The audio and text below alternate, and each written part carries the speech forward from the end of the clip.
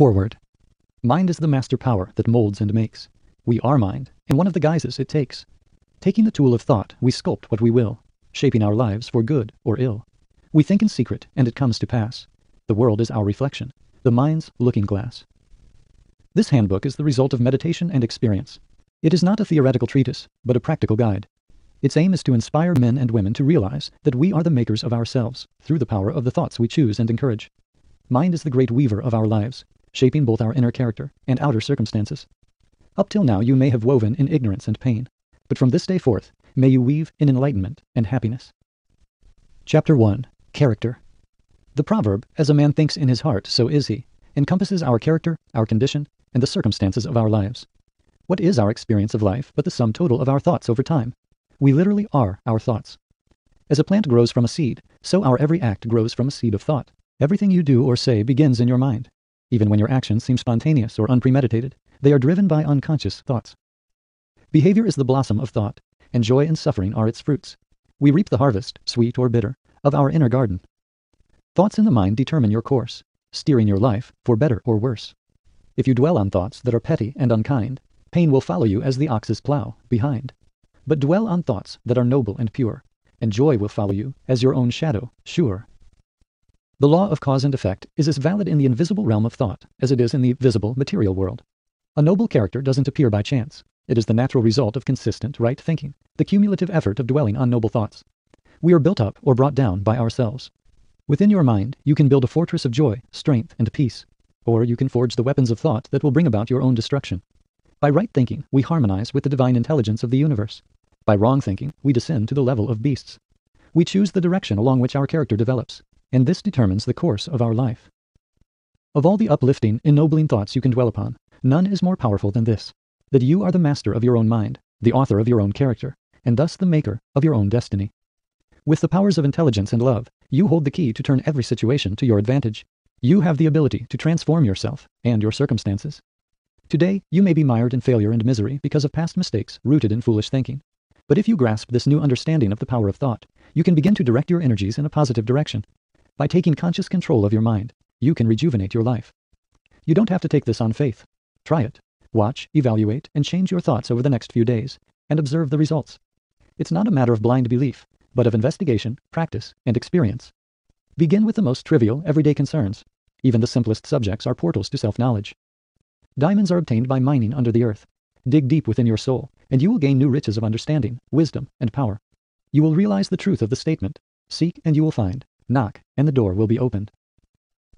Chapter 2 Circumstances The mind is like a garden which can be cultivated or allowed to run wild. Either way it will bring forth results.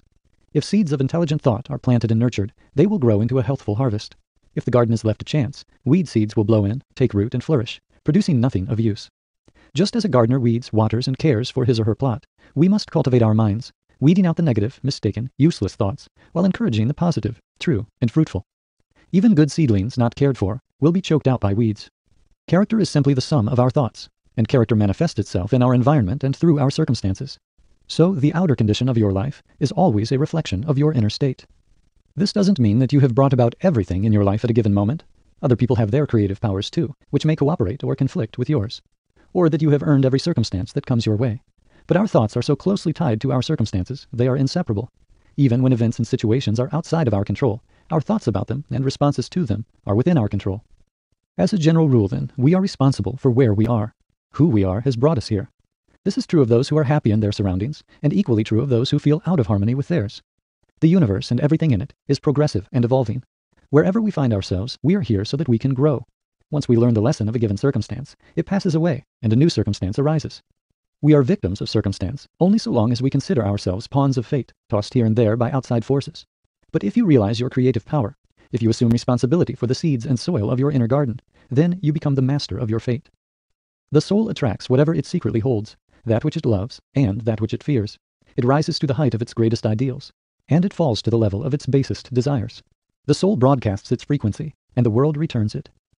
Every thought seed sown in the mind, or allowed to fall there and take root, blossoms into action, bears the fruit of circumstance, and produces more of its own kind.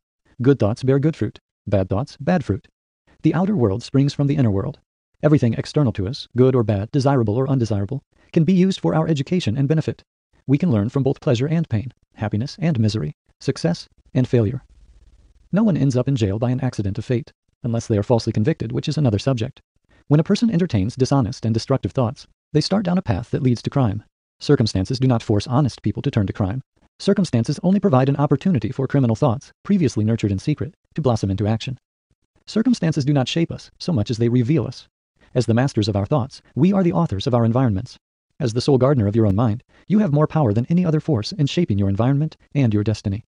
People do not attract what they want, but what they are. Our whims and daydreams may not come true, but who we are will always be manifest in our external lives. The contents of our minds and hearts cannot remain hidden for long. Fate is not something outside you, beyond your control. You are your fate. Character is destiny.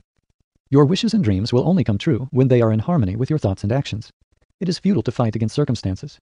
You cannot change your surroundings while continuing to think the same thoughts that brought you here. To improve your circumstances, improve yourself. Self-discipline is key to obtaining anything you want, no matter whether your aims are high or low. Even those who simply desire money must make many personal sacrifices to earn it. Think of how many more sacrifices it takes to develop a resilient, trustworthy, inspiring, fully rounded character. We may have worthy goals, but our efforts will be thwarted if our thoughts are not in alignment with them. Picture a young man born into poverty, who rightly wishes for money, but takes a shortcut to get it, by stealing from his employer. He is only digging himself a deeper hole. Picture a woman who suffers from debilitating health problems because of her diet of processed foods and sweetened drinks. She wishes to be healthy and is willing to visit doctors and take prescription drugs, but she refuses to change her lifestyle. She will never gain a healthy body without a healthy mindset. Picture a company that pays its workers the bare minimum and refuses them health insurance, paid vacation time, and other benefits. Its executives wish for profits, but lasting success cannot be built on the backs of discontented, disloyal, overworked, underproductive employees. It is not enough just to have a positive goal. As the above examples show, our goals must be in harmony with our thoughts, both conscious and unconscious, or they will never be realized. The interplay between thought and circumstance is too complex to judge a person's heart and mind simply based on their current circumstances. One entrepreneur may be upright and honest in certain aspects, yet their business fails. Another may be boastful and dishonest in certain aspects, yet their business succeeds. It is common to say that the first entrepreneur failed because they are honest, while the second succeeded because they are dishonest. But this is a mistaken conclusion. It assumes that some people are completely virtuous, while others are completely evil, which is an oversimplification. Upon closer examination, the more dishonest entrepreneur may possess certain virtues, like decisiveness and efficiency, that the more honest one lacks. It soothes our vanity to say that we failed because we're too good, or that we're broke because we're too honest. But this is not true. Until we have wiped every impure thought from our minds and cleansed every spot from our souls, how can we know that our sufferings are the result of our virtues and not our faults? Or that victory will not come to us tomorrow if we persist through today's setbacks? The purpose of suffering is to teach, strengthen, and purify. Do not whine and pity yourself. Learn and grow from your faults and failures. Search for the hidden justice that rules your life. Instead of kicking against circumstances, use them as stair steps to greater heights, as challenges that reveal new powers within yourself. Law, not confusion, rules the universe. Justice, not injustice, is its guiding principle. You attract what you are. You get what you give. Thistle seeds cannot yield corn, and corn seeds cannot yield thistles. Good thoughts cannot produce bad results, and bad thoughts cannot produce good results. Everyone understands this law in the natural world, but few understand it in the mental and moral world. A blessed life is the sure result of right thought.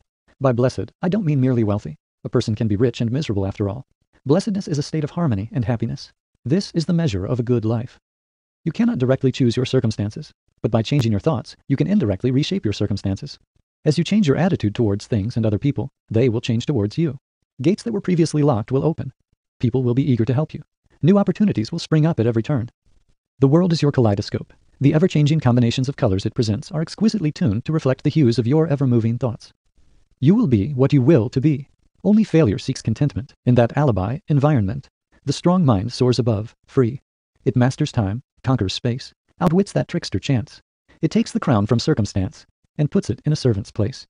Your inner will, that unseen force, offspring of mind and soul, can forge a path to any goal and conquer anything in its course. Chapter 3 Health The body is the servant of the mind.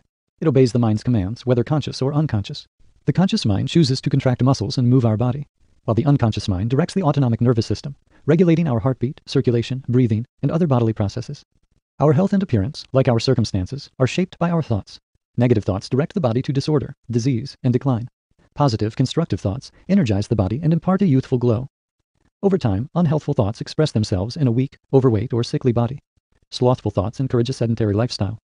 Both self-indulgent and self-loathing thoughts can cause overeating. Anxious, stressful, and fearful thoughts set off our internal alarm system. Blood pressure rises, breathing becomes fast and shallow, and the body releases stress response hormones. When this happens frequently, our glands are depleted, and our immune system is weakened. The opposite is also true. Positive thoughts boost our health and immunity. Strong, confident, caring, grateful, happy thoughts express themselves in a vigorous, vibrant, graceful, beautiful body. While you may inherit a genetic blueprint from your parents, the tools for building your body are in your hands, and the materials that will be used are up to you. These include the foods that you eat and the exercises you perform. Two builders working from the same blueprint can produce two entirely different houses. One cheap, sloppy, soon dilapidated, the other fine crafted, stately, and enduring. Diet and exercise actually begin in the mind. What will you eat? How will you move your body? Your dominant thoughts determine the answers. A person who reads about nutrition and often thinks about which foods are the most nourishing will naturally make healthy choices, without strain or self-deprivation. A person who focuses their mind on athletics or muscular development, combining enthusiasm and dedication with a sound training program, will surely build a strong and speedy physique. And in athletic competitions, intelligent planning, quick thinking, and mental determination lead to victory. Healthy thoughts become healthy habits. Hold a vision of yourself glowing with energy and vitality. Act in harmony with that vision, and you will grow to embody it. If you wish to protect your body from sickness, purify your mind. If you wish to be physically attractive, beautify your mind. Thoughts of jealousy, hatred, apathy, disappointment, and despair rob the body of its natural radiance. A sour face is the expression of sour thoughts. I know a 96-year-old woman with the bright, innocent face of a girl, and I know a 36-year-old man with a permanent frown who looks at least twice his age. One is the outflowing of a sunny, friendly disposition, the other of discontent and a bad temper. As you cannot have a light-filled, airy home unless you pull back the curtains and open the windows, you cannot have a bright, happy countenance without opening your mind, releasing negative and harmful thoughts, and letting in thoughts of joy, love, and peace. Those who remain pure in their thoughts grow old gracefully and serenely. Their waning years are bathed in mellow, beautiful hues, like a sunset over the ocean. I recently sat at the deathbed of a wise philosopher. He was young in everything except years, and he died as sweetly and peacefully as he lived. There is no better medicine than cheerful thought for curing and preventing bodily ills. To wish the best for all people, to find the good in everything, to be content in all circumstances. Such thoughts are the portal to heaven. Chapter 4 Purpose In order to accomplish anything, thought must be wedded to purpose. Too often we allow our thoughts to drift aimlessly on the seas of life. Purpose directs them to a desired destination. Those who lack a central purpose in life fall prey to worries, fears, and petty troubles, and end up stuck in self-pity. They may appear virtuous because they lack any glaring faults and make no great mistakes, but they take a long winding route to failure and unhappiness just the same. Conceive a central purpose for your life and set out to accomplish it. It may be a noble ideal such as spreading justice and freedom, or a worldly attainment such as founding a successful business. Whatever it is, make it the focal point of your thoughts. Dedicate yourself to its realization. The power of thought multiplies through focus and concentration. As a person strives and fails again and again in the service of a worthy goal, their character is strengthened and deepened. They turn obstacles into stepping stones. This is the measure of true success. What if you are a young student or are waiting for inspiration and don't yet have a central purpose in mind? Start by focusing on the task at hand, whatever duty is before you at school, work, or home. Concentrate on doing your job as well as you can, however insignificant it may seem. This will develop and expand your ability to take on greater goals in the future. You may have little or no experience, but now that you know mental power can be developed by effort and exercise, you can begin to exert yourself. With patience and practice, your powers will grow exponentially. To begin to think with a purpose in mind, laying aside distractions and daydreams, is to enter the ranks of the successful. Those who learn from their failures, find the advantage in every circumstance, think strongly, dare fearlessly, and act masterfully. Once you conceive a purpose, create a plan for its attainment. Look neither to the right nor left. Fears and doubts will only pull you off track. Those who focus on fear never accomplish anything. The power to do springs from the confidence that you can. Allied with purpose, your every thought is energized, giving you the courage to face and overcome any obstacle. Purpose-driven thought is a creative force. Understand this and you're ready to become something more than a bundle of jumbled thoughts and shifting sensations. Put it into practice, and you will become the master of your mental powers. Chapter 5 Success As you think, so you are. As you are, so you act. As you act, so you attract. All that we achieve or fail to achieve is the result of our own thoughts. Your strengths and weaknesses, your virtues and faults are entirely your own. They are not forced upon you by others or by circumstance. Only you can improve yourself. Your happiness and suffering come from within. Only you can change your state. As you think, you are. As you continue to think, you will be. A strong person cannot help a weak person unless they want to be helped. Even then, the weak person must work to become stronger. By your own efforts, you must develop in yourself the qualities you admire in others. Throughout history, it has been commonly said, the many are oppressed because the few lord over them. Let us hate the leaders. What if we reversed this perspective? Good leaders are scarce because the majority of people are followers. Let's stop thinking and acting like helpless victims. Rise up and become leaders. When a person realizes that their thoughts determine their experience of life, they have no desire to oppress others, nor can they be oppressed. They understand that the oppressor and the oppressed are cooperators in ignorance. They have compassion for all. They are free. The only way to rise is to elevate your thoughts. To achieve anything, we must lift our thoughts above sloth and self-indulgence. Successful people put off gratification. They conceive goals, create plans, and execute those plans. They act independently, on their own initiative. They master their minds, and so master their circumstances. The higher you elevate your thoughts, expanding from desiring your own good, to the good of your family and friends, to the good of all people, to the good of the whole world, the greater will be your success, and the more enduring your achievements. Although it may seem so at times, the universe does not favor the greedy, the dishonest, and the violent. In fact, all forces, seen and unseen, rush to help the humble, the honest, and the generous. Teachers and prophets of all times and places have praised the same virtues, because they are written into the fabric of our nature. All spiritual and intellectual achievements come from contemplating the beautiful, the good, and the true. Yes, some successful businessmen, artists, and scientists have been touched by pride and selfishness, but their accomplishments flowed from their virtues, not their vices. If they had rooted out all their vices, their achievements would have been all the greater. Those who give little accomplish little. Those who give much accomplish much. Those who give the most become the greatest. All achievements, whether in business, science, the arts, or in personal development and spiritual evolution, are the result of purpose-driven thought. Goals differ, but the path to success remains the same. Chapter 6 Visions The dreamers are the redeemers of the world. Humankind is blessed in good times and sustained through hard times by the visions of its dreamers. Inspired by their ideals, we work tirelessly to build a peaceful, just, compassionate society. Composer, sculptor, painter, poet, prophet, sage. These are the artists of our ideals, the architects of heaven. The world is a better place because they lived. If you cherish a beautiful vision in your heart, one day you will realize it. Explorers cherished visions of new worlds and sailed the oceans to find them. Scientists cherished visions of tiny cells and vast galaxies and invented microscopes and telescopes to reveal them. Prophets cherished visions of a divine power permeating the universe and entered into harmony with it. Cherish your visions and ideals. Cherish the music that moves your heart. For out of your love will flow your purpose, your unique contribution to better this world. Aim high and dream big, for as you dream, you will become. Your life will expand to fill the contours of your vision. As the towering oak was once an acorn, the greatest achievement was once an idea. Dreams are the seeds of reality. Your circumstances may be unfavorable now, but they will not remain so for long if you conceive an ideal and strive for it. An interior transformation will soon express itself outwardly. Picture a youth hard-pressed by poverty, confined for long hours in a stuffy workshop, unschooled and lacking all the arts of refinement. But he dreams of better things. He values intelligence, grace, and beauty. In his mind he envisions his ideal life. He springs into action, using all his spare time and money, little as it is, to develop himself and expand his horizons. Soon the workshop cannot hold him. His mind has so outgrown his surroundings that he casts them off like an old coat. Years later we see him as a grown man. He is the master of his mind, with which he exerts power and influence. He shoulders great responsibilities and creates products and services that benefit his customers. He inspires others to follow his example and improve their own lives. He has grown to embody his vision. I have known men and women like this.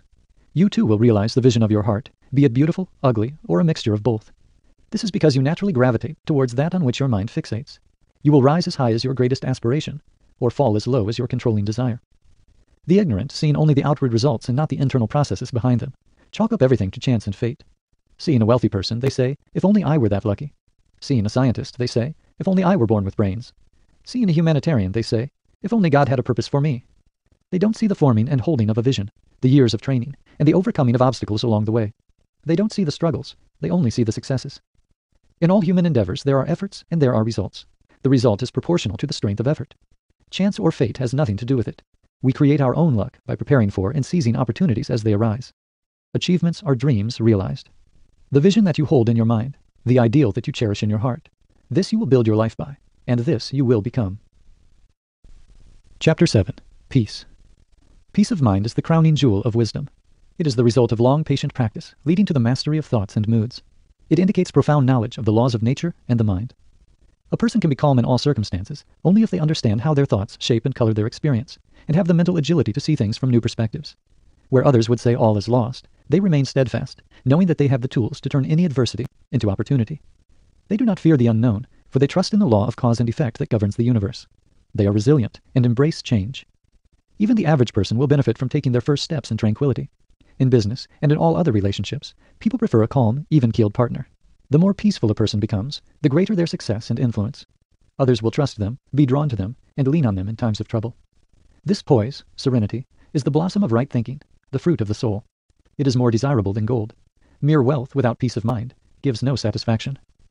Think of how many people spoil their lives by stewing in thoughts of ingratitude, injustice, jealousy, anger, and rage. They carry conflict within them wherever they go. What a joy it is to meet a person who exudes serenity. They stand strong and firm as a deeply rooted, shade-giving tree. Through all kinds of weather, they comfort, encourage, and inspire all who come into their presence. The winds and storms of life cannot topple them. Tempest-tossed souls, wherever you are, whatever your current circumstances, know this. In the ocean of life, there are isles of blessedness. The sunny shore of your ideal vision awaits you. Keep your hand firmly on the helm of thought. All that you need is within yourself. Awaken your powers.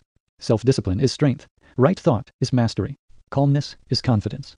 Say to your heart, peace, be still. Bonus exercise. Visualize your ideal life. This is a practical exercise for applying the principles of As a Man Thinketh, in which you will visualize your ideal life and describe it on paper. It's important to write out your vision by hand. Writing turns vague ideas into definite words, and writing by hand, in particular, rather than typing, imprints those words deep in your mind. Sit down with paper and pen and imagine yourself five years in the future, living your ideal life. Begin by writing, I am so happy and grateful, now that. Go on to describe your ideal life in the present tense, as if you're currently enjoying it. Write a brief paragraph for each major area of your life, describing what your success looks and feels like from the inside.